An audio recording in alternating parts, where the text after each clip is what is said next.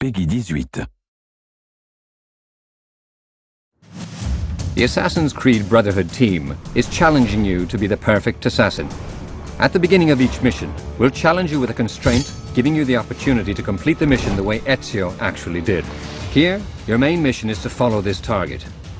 To achieve full synchronization with Ezio's memories, you'll have to complete this mission without being detected. Full synchronization is optional, and you can achieve it by replaying the mission whenever you want. You are not able to achieve full sync.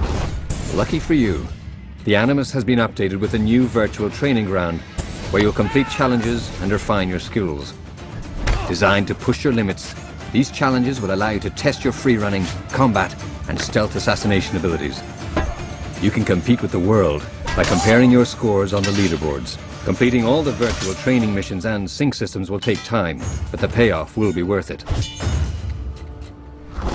The new sync system and the virtual training ground will push you to use Ezio's immense arsenal of weapons and abilities, allowing you to become the perfect assassin.